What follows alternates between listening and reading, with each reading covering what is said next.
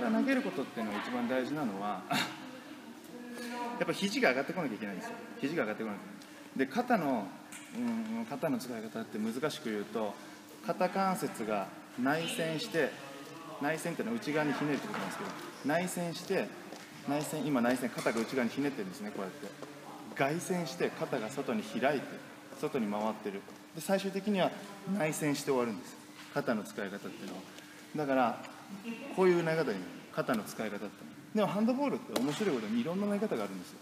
いろんな投げ方がある。で外国人なんかは よくしなりとかあるんですけどボールがこうなってますよね。ミケル・ハンセンとか。もうボールがこうなってる。これっていうのは肩が内旋してる状態です。内旋してバックスイング完了。バックスイング完了から外旋して内旋で終わるっていうそういうところがあるんですよ。だからハンドボールそれもボールを持てなきゃどうしようもないんです持てなきゃどうしようもない。だから両面テープを使うなり松ヤニを使うなりしてやんなきゃいけないんですけどこれね持てなきゃいけないんですよ。だからうんボールをハジする掴んで振り回せるハジするっていうんですけどこれが一番大事です。これが一番大事。だからそれから始めてください。それから始める。でえー、っとねまあいろいろあるんですよね。あの肘が上がってこないっていう人がいるんですけど。肘が上がってこない。肘上げて高いところから投げろって言ってもなかなか投げられないんですなぜかって言ったらまずボールつかめないから。で今度はボールつかめました。ボールつかめましたって言っても肘を上げなさいって言ってもこうやって上がってもなかなかボールって投げれないんです。投げれないんです。だから肘を上げるためにはえっとですねこれ便利だね。あの前腕には2本の腕骨があってあのお父さん指側の骨を頭骨って言うんですよね。で小指側ここの骨を尺骨って言うんですよね。でボールを掴んだらボールを掴んだら尺骨から上げるんです尺骨を。もうよだれを拭くようにこうやって。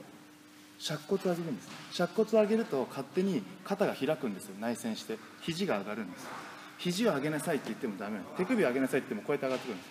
そうじゃなくてここの状態で手首持ってってもボール投げれないから。尺骨上げなさいって尺骨上げたら勝手にバックスイング完了の状態になります。尺骨を上げる。尺骨をよだれを拭くように直線的に上げる。ボールをキャッチしたらって言ってよだれ拭くように投げる。そこからボールを投げる。そしたら勝手に肘が上がってくるんですよ。ね肘が上がってくる。脇が開いて肩が開いて肘が上がってきます。尺骨を上げる。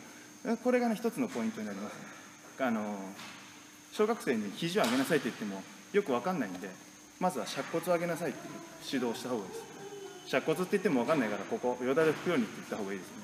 バッそこから投げる。投げるんですけどまあしなり動作とかいろいろあるんですよ。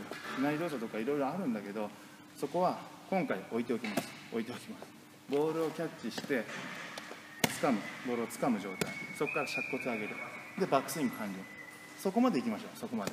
そこまで行ってください。であとはですね足の運びなんですよ。